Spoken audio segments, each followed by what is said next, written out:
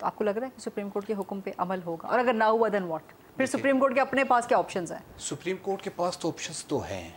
Options तो हैं।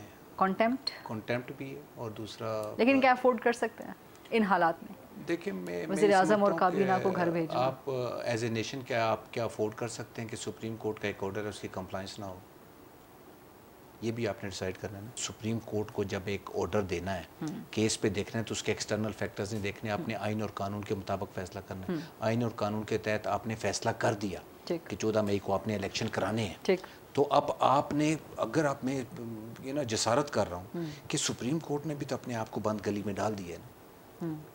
People they're screaming their head off अब आपने ऑर्डर की कंप्लाइंस करनी है।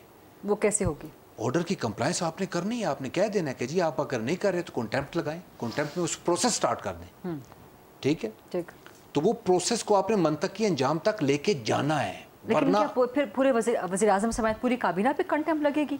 और वज़ीर आज़म और कैबिनेट के पीछे पार्लियामान खड़ी हो गई है नहीं क्या पूरे पार्लियामान पे पार्लियामान- लगाएँगे? खड़े होने से कॉन्टेम्प्ट का कोई ताल्लुक नहीं है। Direct order was conveyed to the federal cabinet federal government as a individual as a Pakistani हम अफोर्ड नहीं कर सकते कि सुप्रीम कोर्ट ने एक डायरेक्ट ऑर्डर दे दिया।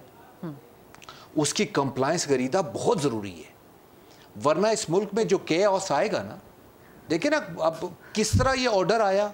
मैंने पहले भी आपको कहा कि इस ऑर्डर को आप बहुत सामने रख के नहीं रखेंगे जी बड़े प्राउडली आप इसको रेफर नहीं करेंगे। लेकिन आप आपने खुद आप खुद कह रहे हैं कि ये ऑर्डर कोई काबिल फख्र ऑर्डर नहीं है। लेकिन फिर आप कह रहे हैं क्वेश्चन आप खुद कर रहे हैं इस ऑर्डर को। साहब की बात का मैं भी अपना मैं इसमें एक, एक स्टेटमेंट देता हूँ फिर मैं, मैं मैं अपने भाई से कहूँगा। ऑर्डर जैसा भी है। देखें इस अमल होना चाहिए। अमल होना चाहिए। चाहे गलत भी है। गलत भी है। सुप्रीम कोर्ट के ऑर्डर है ना। अच्छा। आप अदालत का ऑर्डर है मैं और आप एग्री नहीं कर रहे तो इस मुल्क में एक सिविल जज के पास सुबह इस्लामाबाद एफ़ एट जाए ना तो एक सिविल जज के पास डेढ़ सौ केस है।